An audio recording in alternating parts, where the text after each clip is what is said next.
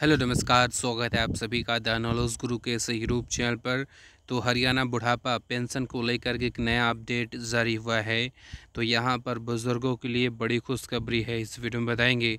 अगर आप रोज़ यहाँ पर हरियाणा की ताज़ा खबरें सबसे पहले पाना चाहते हैं तो अभी आप इस यूट्यूब चैनल को सब्सक्राइब अवश्य करें। तो बता दें कि यहाँ पर बुढ़ापा पेंशन में किया गया है बड़ा बदलाव।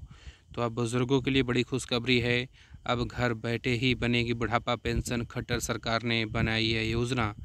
बता दें कि मुख्यमंत्री मनोहर खट्टर की आज अध्यक्षता में मंत्रिमंडल की बैठक में वरिष्ठ नागरिकों को बड़ी राहत प्रदान करते हुए वृद्धावस्था सम्मान भत्ता योजना की प्रक्रिया में बदलाव करने का निर्णय लिया है।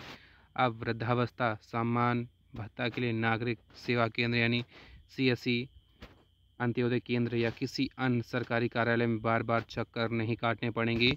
नई प्रक्रिया के तहत वृद्धावस्था सम्मान भत्ता योजना के तहत पात्र व्यक्ति को अपनी पात्रता निर्धारित करने के लिए परिवार पहचान पत्र की संख्या की आवश्यकता होगी।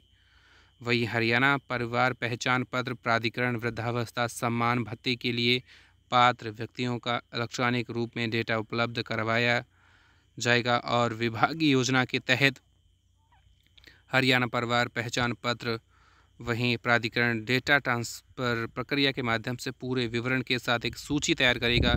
सूची में ऐसे व्यक्तियों को शामिल किया जाएगा जिनकी आयु साठ वर्ष या उससे अधिक हो। पति या पत्नी की आय एक साथ प्रतिवर्ष दो लाख रुपए से अधिक ना हो और जो कम से कम पिछले पंद्रह वर्षों से हरियाणा का निवासी हो। तो ये बड़ा बदलाव किया है, बड़ा फैसला है। इस वीडियो में थी जानकारी, धन्यवाद।